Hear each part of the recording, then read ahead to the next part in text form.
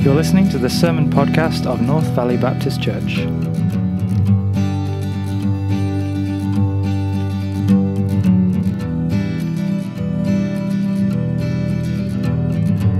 This week's message is preached by Pastor Scott McGrady.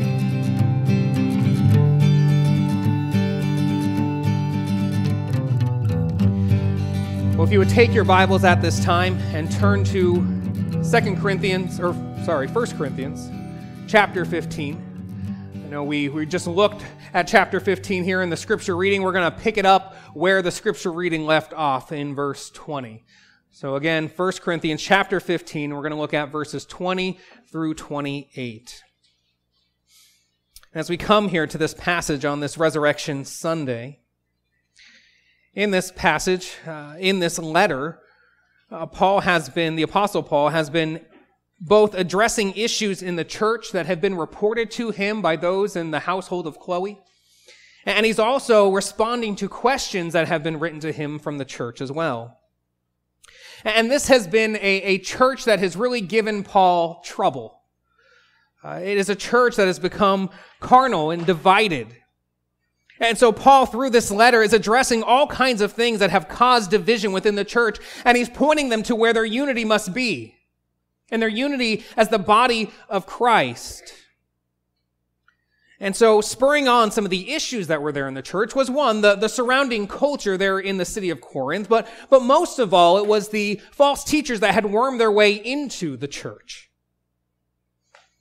And among the many sinful and doctrinal issues in the church that Paul was addressing, the specific one that we must consider for this morning is the denial of the resurrection.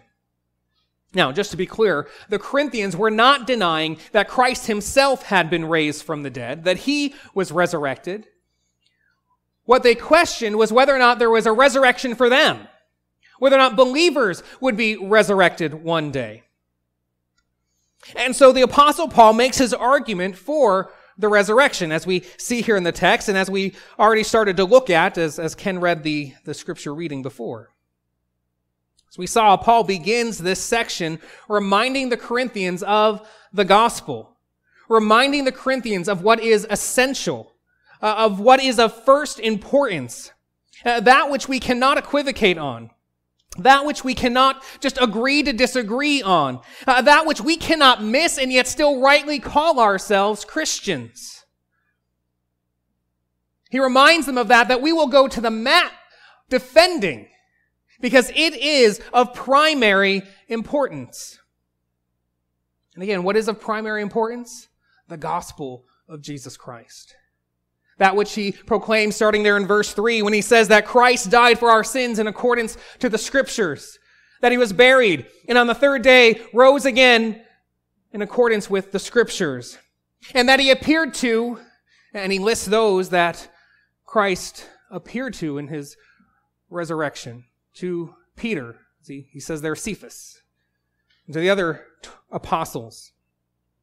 And to James. And, and eventually, as, as Paul says, one untimely born as he refers to himself, that he appeared to Paul.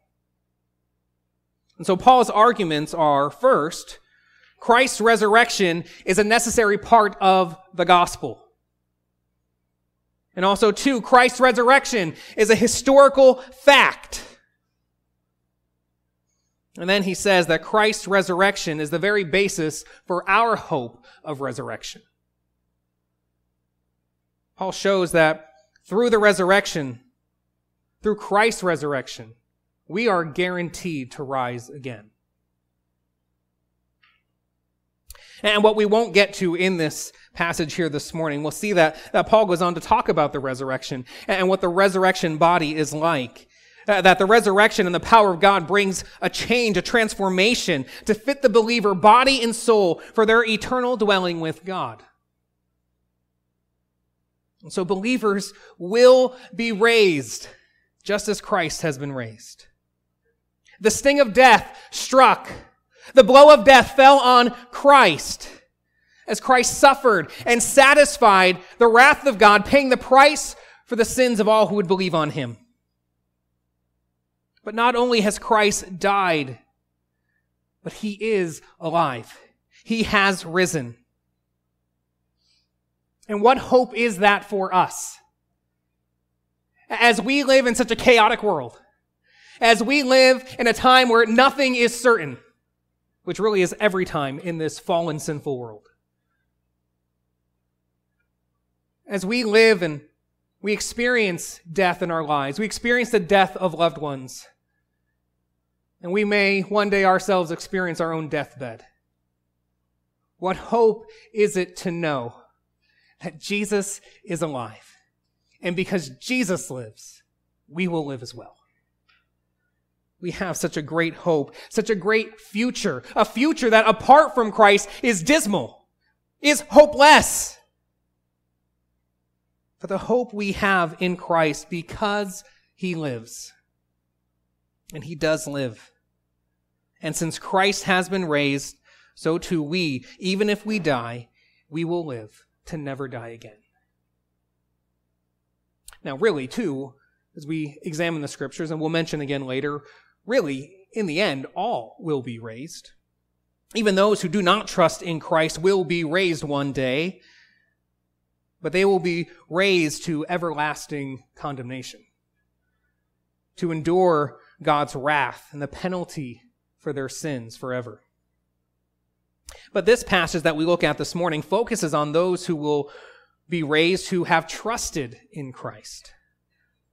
Those who trust this gospel, who trust in Christ alone to save them. Their sin has been already paid for in Christ's sacrifice. And so they will rise and rise to eternal life in the glory of their God. So again, the resurrection, the resurrection is true. The Corinthians, they may have argued that there was no resurrection of the dead, but Paul argues that if there is no resurrection of the dead, then not even Christ has been raised. And if Christ has not been raised, you are still in your sins. There is no hope. There is only the expectation of judgment and wrath. And so that's where Paul leaves off. That's where Ken read up to. And so we pick it up here again in verse 20. And so if you would read with me, starting in verse 20 as we read through verse 28. But in fact, Christ has been raised from the dead, the first fruits of those who have fallen asleep. For as by a man came death, by a man has come also the resurrection of the dead. For as in Adam all die, so also in Christ shall all be made alive. But each in his own order. Christ the firstfruits, then at his coming, those who belong to Christ. Then comes the end, when he delivers the kingdom to God the Father after destroying every rule and every authority and power. For he must reign until he has put all his enemies under his feet. The last enemy to be destroyed is death. For God has put all things in subjection under his feet.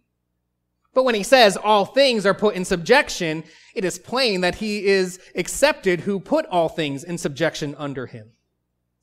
When all things are subjected to him, then the Son himself also will be subjected to him who put all things in subjection under him, that God may be all in all. So as we, we go through this passage, uh, there, starting in verse 20, uh, that verse begins by saying, but. And that contrasting conjunction uh, is just great here. Uh, it is contrasting everything that would be true if Christ had not been raised.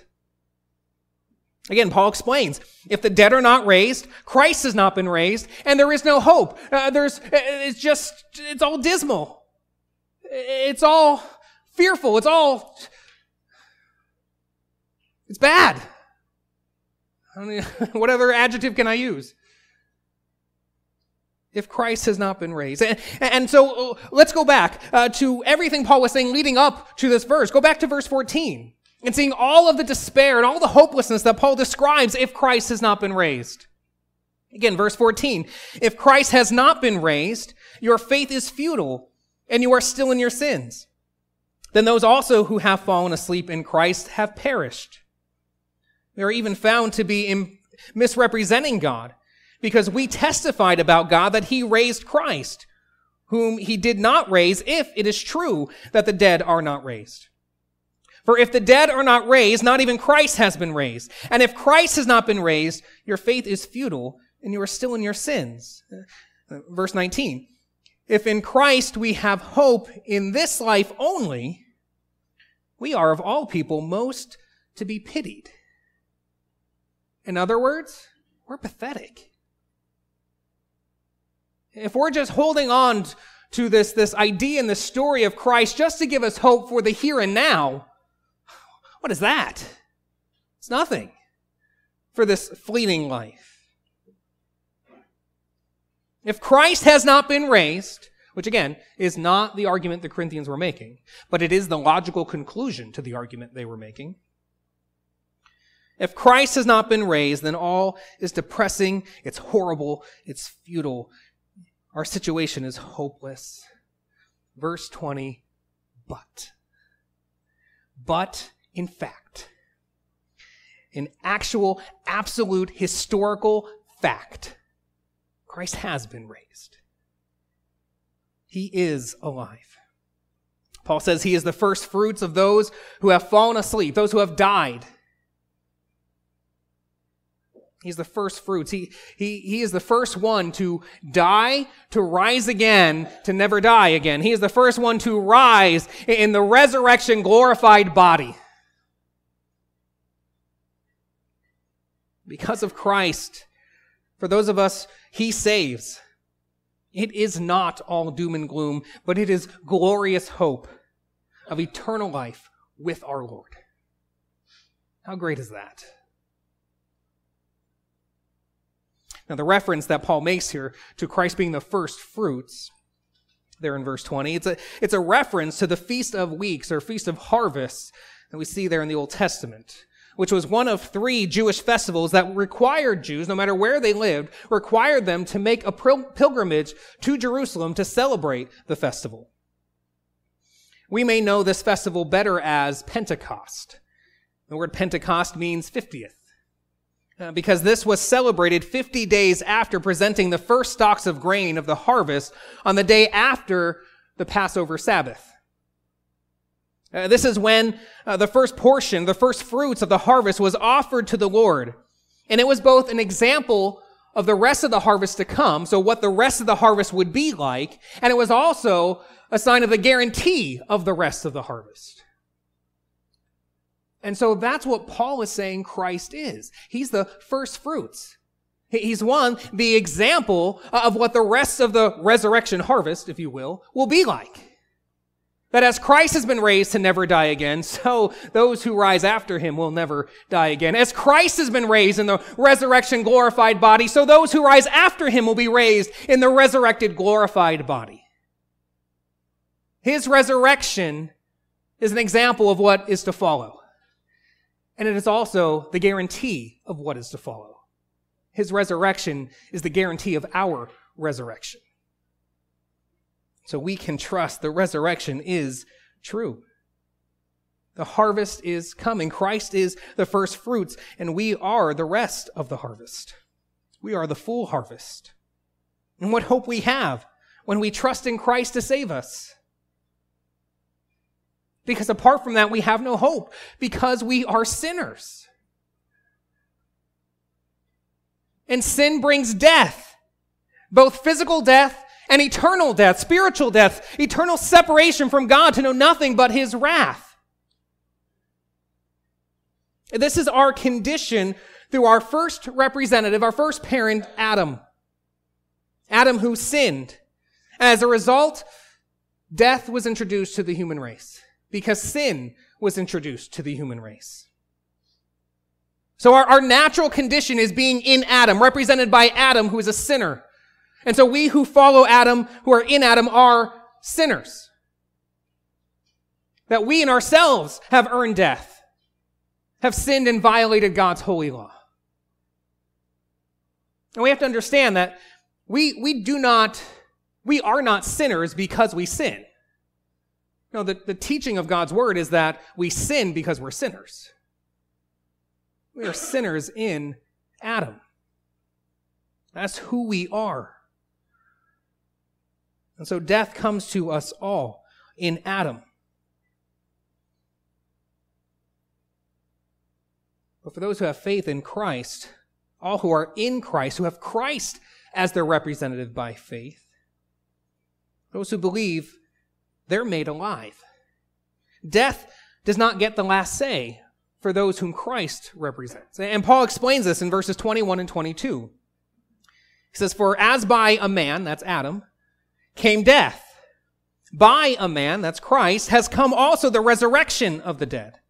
For as in Adam all die, so also in Christ shall all be made alive.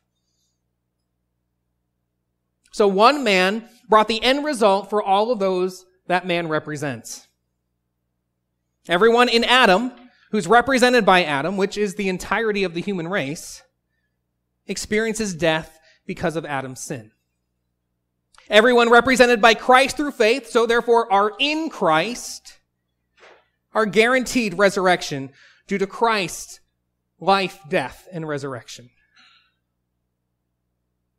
So all in Christ will rise to have eternal life, never to die again, because Christ will never die again.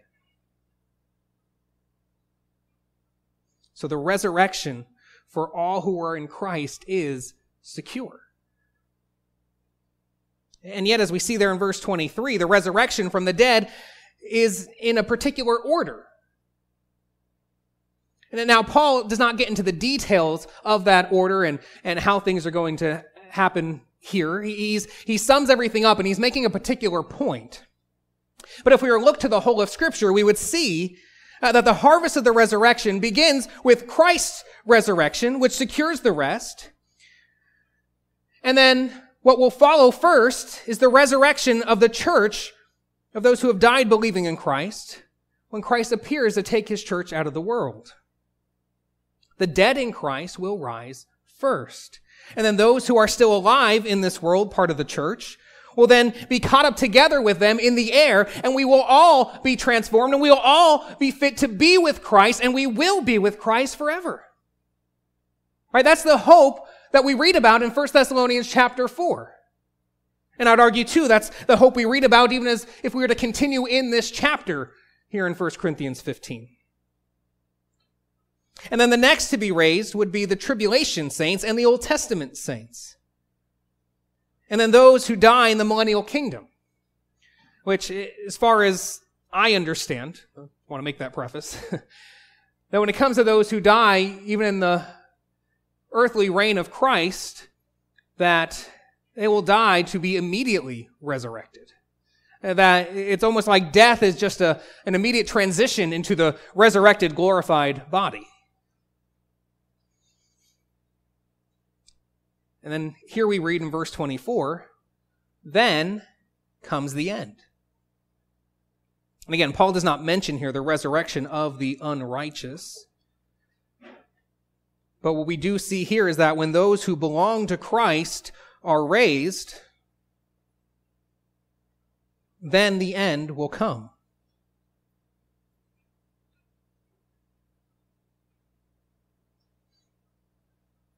After Christ's thousand year reigns on this earth. And we see all of this necessitates Christ's resurrection.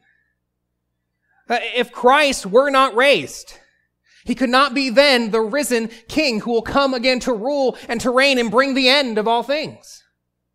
He would not return if he were dead. But he is not dead. He is alive. And he will return and reign and fulfill all of God's promises to Israel. And that's what he's going to do. He will come and establish his kingdom on earth and fulfill the promises that God made to Israel. All the prophecy that, that has been foretold will be fulfilled in that day because he lives and he will return and he will reign on David's throne. See, who Jesus is, is God who came in the flesh. God who became a man. Uh, that's why he could be our representative. Because Adam was our, our first parent. Adam being the first human represented all of us who followed. And so Christ came as a human to be the representative of all who would believe on him, to rescue us from that representation in Adam. And so Christ became a man to save us. And so, as a man, he is a descendant of King David. And as a descendant of King David, he has the rights to David's throne, and he will come and reign on David's throne and reign over the whole earth and fulfill the kingdom promises to Israel. Now, there are some who reject that. Uh, reject that Christ will come and literally reign on this earth. Uh, those whom I dearly love and, and are true brothers and sisters in Christ um, those whom I owe so much to and am so grateful for. Uh, but they reject that Christ will literally reign on this earth. Uh, they say that the, the promises to Israel have become null and void because Israel rejected their Messiah. And so now those promises are spiritually fulfilled in the church. And so they argue that, that Christ's reign is now in the church and through the church. Spiritually now. But I, I reject that. I would argue that is to drain the Old Testament text concerning Messiah's rescue of Israel and the promised kingdom to Israel. It's to drain those passages of the, of their meaning to the original audience. But you say, well, we're not in those Old Testament passages. We're in this passage. So what does this passage say? Because someone will look to this passage and say, see, see, there is no literal reign of Christ. Because what does it say here? It says that, that Christ will come, and then those who belong to him will be raised. Verse 24, then comes the end. See, it's, it's right away. Christ returns, the dead are raised, then the end. No millennial kingdom, no literal reign of Christ. It's, it's immediately goes to the end. Is that what this passage says? At a first glance, I think we can come away with that. But if we look a little deeper at the passage, I, I think it tells a different story. Michael Vlach, in his book, He Shall Reign Forever, points out that the Greek word translated here as then in verse 24 is used at times to show an interval of time between two events. And so here in verse 24, it'd be between Christ's coming and the end. And a matter of fact, this word throughout this passage demonstrates an interval of time. Uh, for instance, in verse 23, it talks about the order of the resurrection beginning with Christ's resurrection. And if we were to look at a literal translation of this verse, or a wooden translation, it would read something like, the first fruits, Christ. Then, and, and there's that word, then the ones who belong to Christ in his appearing, or you could say at his coming. As we read about that, we know that there is a time interval there. There's a span of time there. How, how do we know? There's a span of time between Christ's resurrection and his coming again, right? We know that because we're in that time right now. Where we sit at this very moment, Christ has been raised, but he hasn't come back again yet. And so that time interval is, is an interval of at least nearly 2,000 years.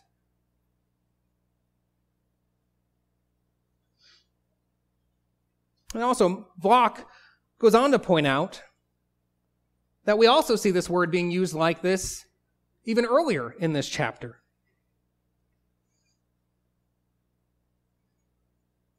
After asserting in the beginning of this chapter that Christ rose on the third day according to the scriptures, we see there what he says in verses 5 through 8. And as you see here, I have in yellow the, where the Greek word that's in question here pops up. And so we see what Paul says. After saying Christ rose on the third day according to the scriptures, he says, and that he appeared to Cephas, that's Peter, he appeared to Cephas, then, and there's the word, then to the twelve. Verse six, then, there's the word again, he appeared to more than 500 brothers at one time, most of whom are still alive, though some have fallen asleep. Now, j- just because we touched on this and we're touching on it now, um, just let me go go down a little bunny trail here. You know, it's Easter, right? I can go down a bunny trail. Sorry. I think it's important enough to do so, though. To think about why does Paul say that those who saw Christ, most are still alive, though some have fallen asleep? What's significant about that? Well, what he's saying is listen, Corinthians, Christ has indeed been raised, historically raised. And if you don't believe me, there are plenty others you can go talk to. You can go investigate this for yourself and know the truth of the resurrection of Jesus Christ. Uh, you can go talk to Peter or Thomas or Cleopas. There are others that have seen him. Yes, yeah, some, some have died, but there are plenty of those who can verify what I'm saying. You can go check it out for yourself. And Voddie Baucham points out the significance of this for us when he explains that the Bible is a reliable collection of historical documents written by eyewitnesses during the lifetime of other eyewitnesses. so what does that mean for us? As we're reading the scriptures and we read the testimony of those who proclaim Christ's resurrection, we read the epistles and read the gospels. They were written by eyewitnesses in the lifetime of eyewitnesses. And so as they make their assertions, there was opportunity for others to rise up and say, hey, listen, I was there. I know what went down and that's not it. That's not what happened. There's plenty of opportunity for kickback. And as we look at the historical record, it's silent. And even, you know, we're in Sunday school, we're, we're going through Acts and, and we read about Peter's proclamation on the day of Pentecost of Christ's resurrection. And it would have been really easy for those, especially the Jewish leaders who opposed Peter's preaching and wanted him to stop. It would have been really easy to silence him because they knew where Jesus' body was supposed to be. And all they had to do was go get it and show it and say, see, he's, he's, he's dead. But they didn't because they couldn't. Christ is alive. And what we have is a historical record, not just of man, but of the very Word of God. All right, let's get back to what we're talking about here. So, again, Paul says that Jesus appeared to Peter, then to the twelve, then he appeared to more than 500 brothers at one time, most of whom are still alive, though some have fallen asleep. Then verse 7, then, and there's the word again, then he appeared to James. Then, and there's the word, to all the apostles. Last of all, as to one untimely born, he appeared also to me. So as we, we look at these verses, in, in some cases here, the, the word could be indicating an interval of time that is just a matter of hours. In verse 7, it would seem that it's, it's pointing to what is a, a matter of days. And then, as we've already said in verse 23, that is clearly a time period of what is, at least as of now, nearly 2,000 years. And so then we come to verse 24 and see the word then. Now, what follows when Christ comes back and the dead are raised, then comes the end. But, but how much time is between when Christ comes and the end? And what happens during that time? Uh, I think it's pretty clear what happens during that time. It is the millennial reign of Christ. Christ will reign. And it's pretty clear. It's actually, it's blatantly clear as you read this that, that the reign of Christ, Christ's kingdom is in view because verse 24 goes on and says, then comes the end when he delivers the kingdom to God the Father after destroying every rule and every authority and power. So Christ will come and reign on this earth. And after Christ subdues all his enemies and all that remain in rebellion to him is crushed, when every rebellion is under his feet, then the millennial reign of Christ will transition into the eternal state. Christ, who has been ruling, ruling on earth as God's representative ruler, having won back the rule that was intended for Adam at creation, that Adam lost in his fall into sin. Christ succeeds at this. Christ subdues the earth, subdues all that's in rebellion to him, and then he turns the kingdom over to God the Father. And verse 25 says, For he must reign until he has put all his enemies under his feet. He will reign until all powers, all rebellion is crushed under his feet. And the very last enemy, the very last one to be crushed under his feet that will usher in the end is what? Verse 26 The last enemy to be destroyed is death. Christ's resurrection has already set this in motion and guarantees the victory here. Death, here as we see it read, is clearly an enemy, even as it's a consequence for our sin and our rebellion against our God, our King, and our Creator. And when we face death in this life, we face the death of a loved one. Again, if we find ourselves one day laying on our own deathbed, death feels like an invading enemy. But praise God, praise our great and awesome God, that the day is coming when death will be no more. The day is coming because we, we want to make sure we get this right. What is this saying? That death will be no more, that death will be destroyed. The day is coming when not only will no one ever die again, but no one will be dead. Death will be no more.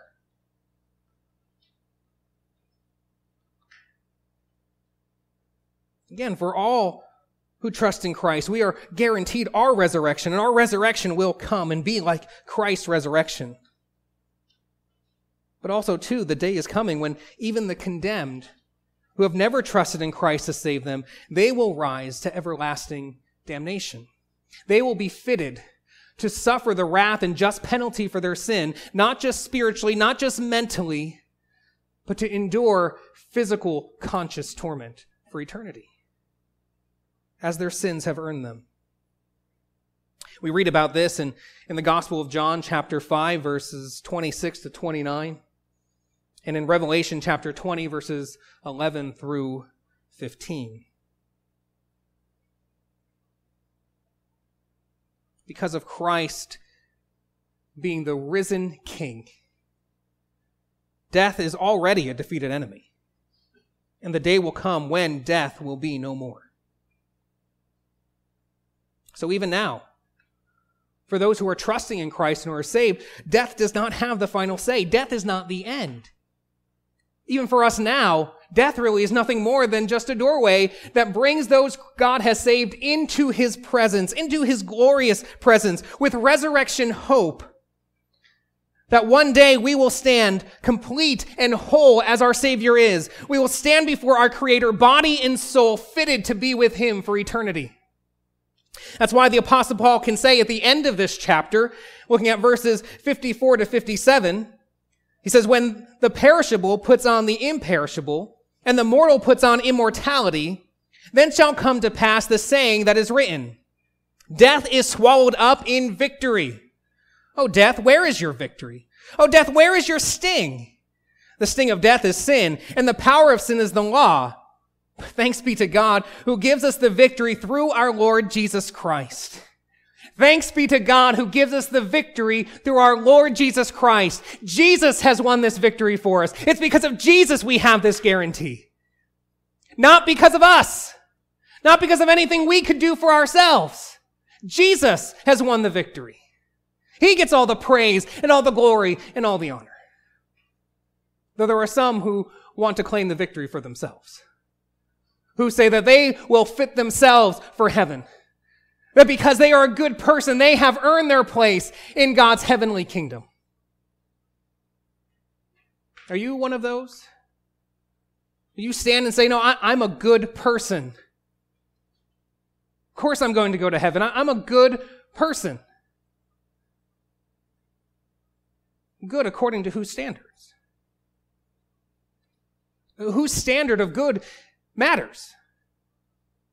Shouldn't it be the one who will, you will stand before to be judged, whether or not you are a good person? Whether or not you are a righteous person? And our judge, our God, has made his standard clear in his law. And his law is such that we will not be able to look to it and say, look, I've kept it all. I've done it well. No, instead, as we read in Romans chapter 3, verse 20, says, For by works of the law, no human being will be justified in his sight, since through the law comes knowledge of sin. Instead of looking to God's law to say, look how good I am, I've done a good job. No, when we look to God's law, we see how fall, how far short we have fallen. How infinitely short of his glory we are. That we not, have not upheld his standard of good and righteousness. But instead, we are law breakers before our God. So, my friends, let's just look at the law. Let me ask you, has God been first in your life, been number one in your life and in your priorities and in the seat of affection in your life? Or have you put other things in the place of God in your life? And therefore made those things your God? The very first commandment says, You shall have no other gods before me. Nothing is to be in competition with him. Have we done that? Have you taken God's name in vain? Uh, to use his name, the, the name of the holy God, and to use it like every other word to express anger or even to express gladness and excitement? Have you used his name like a curse? God said in Exodus chapter 20 that he will not acquit anyone who blasphemes his name. Have you ever committed adultery? Say, no, I've been faithful to my spouse. Maybe you might say, I'm not even married. But in Matthew chapter 5, Jesus says, if you even look with lust, you've committed adultery in your heart. See, because God's standard is so high that He doesn't just judge our outward actions, He judges the condition and the intent and the motives of our hearts. And Jesus said that on the day of judgment, every thought and every careless word will be brought into account. And if this is God's standard, if this is the bar that is set, which of us can stand? None of us. Not one of us. We all stand before the infinitely holy God as guilty. And before the infinitely holy God, our sin is an infinite offense, and so therefore has earned an infinite wrath. We have no hope within ourselves. We, like Adam, have failed and have earned judgment for ourselves. But that's why Christ has come. That's why he took on flesh and a human nature. That's why he laid down his life to rise up again on the third day. To pay, to satisfy God's wrath against the sins of those who believe on him to pay the price with his death and rise again victorious over sin and death. And so now because of Christ, you and I can have that victory. And if we are trusting in Christ, we do have that victory. It is ours. It is a guarantee for us. And so, my friends, if you're here and you have not put your trust in Christ alone to save you, I plead with you, do not wait. Know this victory now. Know it today. Know the love and the joy of our glorious God by trusting in Jesus Christ alone for your salvation. There is no hope outside of Christ. Come to Him, believe upon Him, and you will be saved. That's the good news. That's why this is worth celebrating. That's why it's worth celebrating not just once a year, but why the church gathers weekly and why we are a body together, that together we celebrate our great and awesome God and all that He's done for us. Trust in Jesus and you will be saved. That's the great hope we have because Jesus is alive. The victory is sure. How great is our God? How awesome is He who is our Lord? And if you can recognize how awesome and great He is, if you can recognize the glorious God He is, then you must recognize He is worth living this life that He has given you, worth living it for Him. You must recognize that everything else pales in comparison to this God. Every other pleasure and desire in this world falls infinitely short of the glorious God that we are given the opportunity to serve by Him saving us. That we can serve Him now and forever. So don't wait. Trust in Jesus Christ and begin to serve your great and awesome God who is your Lord. And He is your Lord. He is. That right now, he reigns enthroned at the right hand of God the Father with all authority in heaven and on earth. He reigns now and he is coming again. And he will reign on this earth on David's throne, and he will crush all his enemies under his feet in his earthly reign. And the last enemy to be crushed will be death. And this is what Paul is, is getting to in all of this. And then in stating this, as we see in our passage, he then quotes from Psalm 8, verse 6, there in verse 27. Saying the fact that, that all of the powers and enemies will be crushed under Jesus' feet. Verse 27 says, For God has put all things in subjection under his feet. And though we don't experience it now, the day will come when everything will experience their subjection to Christ's lordship. Because God has made it so. And though everything will be in subject to God, Paul makes it very clear here that that subjection does not include God himself.